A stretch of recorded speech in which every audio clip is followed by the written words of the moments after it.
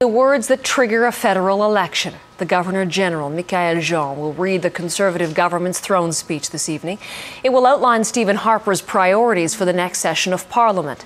The CBC's Julie Van Dusen is in the House of Commons getting ready for this tonight. Julie. Well, it's early yet, Heather, but uh, and you can't see it, but I'm surrounded by cameras for reaction tonight, and uh, members of Parliament are starting to trickle into, uh, you know, the foyer and go off to meetings. And uh, they've been gone for four months, so I've been kind of waving to them because I haven't seen them, many of them in four months, so I'll try to refrain from doing that. But it is a big day here on Parliament Hill. We've been talking about it for a long time. Once that speech is read, everything kicks in for something to happen. Um, people wonder why Stephen Harper would have to have a throne speech. it, it is an agenda, a blueprint, a to do list of what the government wants, but it is an, kind of an odd, perhaps brazen move uh, for a minority government because the throne speech comes with built in confidence motions, and uh, those votes can bring down a government.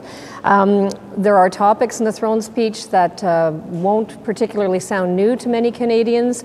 Uh, talks about Afghanistan, the environment tax uh, cuts, uh, possible money for infrastructure, all things we've heard about.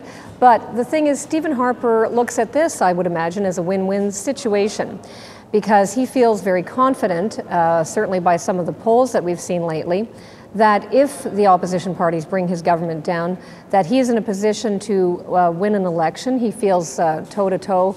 He's uh, head and shoulders above the other leaders on uh, an election trail. And if they decide to support his throne speech, he feels it's a win win as well because he sees that as a green light to implement his agenda. Let's listen to the House Leader, Peter Van Loan. Our view is very simple. You can't say you're for something and vote for it in a throne speech on one day, if you're the Liberal Party, and then the next day turn around and start delaying and obstructing the very things that you pretended or claimed you voted for. So the choice we're putting to them is very simple. Uh, support our throne speech, uh, allow it to pass, uh, and then work with us to make those proposals become law. And if you don't agree with those proposals, you can take it to Canadians and ask them what they think and have an election. So that's a further echo of the Fisher cut bait line we heard earlier, I guess, Julie, from Stephen Harper, just how Peter Van Loan phrases it. But in response to that, how will Stéphane Dion decide what to do?